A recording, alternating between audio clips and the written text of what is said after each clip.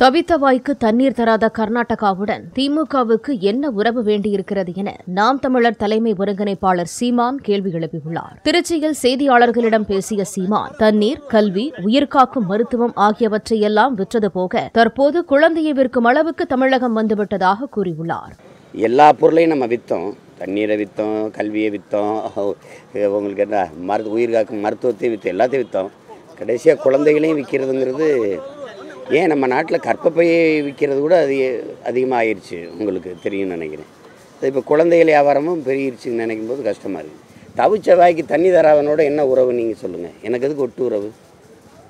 ஒட்டு உறவு கூட கிடையாது. நீங்கள் போட்டிருக்கிறது ஓட்டு உறவு. அது எதுக்கு? எதுக்கு சொல்லுங்கள் மகளிர் உரிமை மாநாடு நடத்திய திமுக மக்களவை பேரவைத் தேர்தல்களில் மகளிருக்கு ஐம்பது சதவீதம் போட்டியிடும் வாய்ப்பை வழங்கியுள்ளதா என்றும் சீமான் வினவியுள்ளார். நீ நீங்கள் எதுக்கு மகளிர் உரிமையை பற்றி பேசுகிறீங்க இவங்கெல்லாம் மகளிரா இல்லை மரப்பாச்சி பொம்மைகளா? பேசக்கூடாது. அதையும் இவ்வளோ நாள் நடக்காத மகளிர் மாநாடு இப்போ நடக்குது உரிமை மாநாடு? ஏன்னா மூணு மாதத்தில் தேர்தல் வருது. பெண்கள் ஓட்டை வாங்கணும்.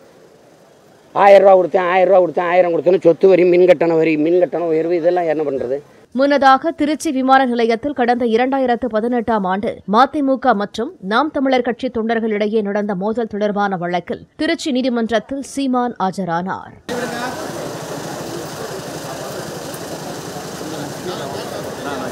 பாதையை விட்டு பாதையை விட்டுருதுங்க